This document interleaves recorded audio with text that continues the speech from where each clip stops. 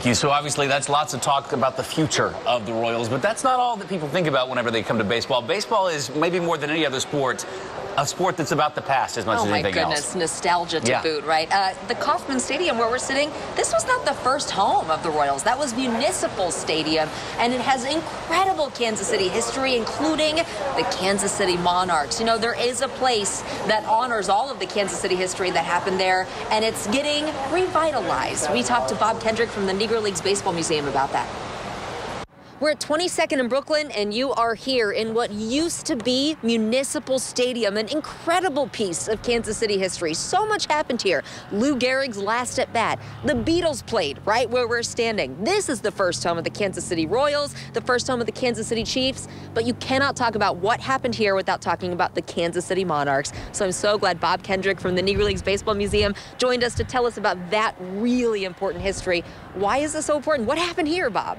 A lot of history was made at this very site. You rattle off some of those historical moments that were part of Old Municipal Stadium. No one made more history at this site, though, than the great Kansas City Monarchs. They won World Series in 1924. They won another World Series in 1942.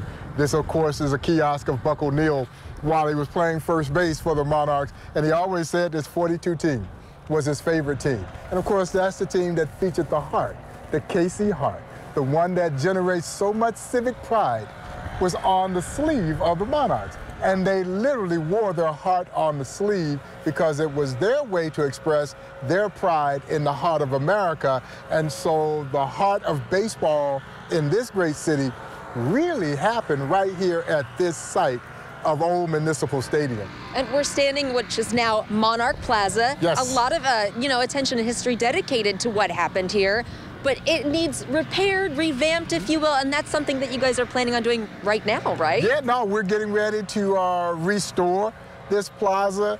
It was dedicated in 2012 when Kansas City hosted the All-Star game.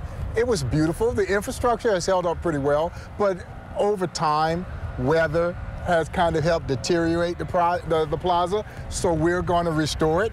We will rededicate it on Friday, May 6th of this year, which coincidentally marks the anniversary of Jackie Robinson's first game at this site.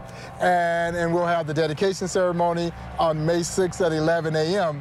to rededicate Monarch Plaza. Monarch Plaza. And speaking of Jackie Robinson, we, we mark Jackie Robinson Day each year, but this year is special. Tell us about that. It is really special because this year marks the 75th anniversary of Jackie Robinson's breaking of Major League Baseball's color barrier. And Lindsay, as I've always said, you cannot tell the story of the integration of baseball without Kansas City and without the Negro Leagues because Jackie's illustrious career began right here in 1945 with the Kansas City Monarchs before he became the chosen one to break Major League Baseball's then six decade long self imposed color barrier. And Jackie Robinson's breaking of the color barrier was not only good for baseball, it changed us from a societal standpoint. It was essentially the beginning of the civil rights movement in this country.